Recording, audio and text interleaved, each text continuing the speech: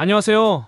오늘은 일본 스포츠 애니메이션의 정수를 담은 영화 극장판 하이큐 쓰레기장의 결전에 대해 이야기해보려고 합니다. 이 영화는 애니메이션 시리즈 하이큐의 극장판으로 카라스노 고등학교와 네코마 고등학교의 전통적인 라이벌 대결을 다루고 있습니다. 영화의 제목 쓰레기장의 결전은 두 학교의 상징인 까마귀와 고양이에서 유래되었습니다. 영화는 전국대회 경기를 배경으로 진행되며 한 번 더가 없는 마지막 싸움이라는 토너먼트전의 긴장감을 선사합니다. 두 학교의 치열한 배구 경기를 통해 팀워크와 우정, 성장의 이야기를 담아낸 이 작품은 엄청난 열정과 끝없는 성장을 보여주는 쇼요와 배구의 진정한 재미를 찾게 되는 켄마의 성장이 그 중심에 있습니다. 특히 네코마의 세터 켄마의 일인칭 시점으로 동료 쿠로와의 우정과 추억, 라이벌 쇼요와의 만남과 경쟁을 현재 진행 중인 배구 시합과 교차적으로 편집하여 완급을 조절한 연출이 인상적으로 느껴졌습니다. 이 영화는 일본 개봉 당시 엄청난 인기를 끌며 100억엔 이상의 흥행 수익을 기록했는데 이는 하이큐 시리즈가 얼마나 많은 팬층을 확보하고 있는지를 보여줍니다. 러닝타임 85분 동안 펼쳐지는 배구 경기의 긴장감과 캐릭터들의 감정을 섬세하게 그려내 관객들에게 깊은 인상을 남긴 미츠나카 스스무 감독의 연출력이 돋보입니다.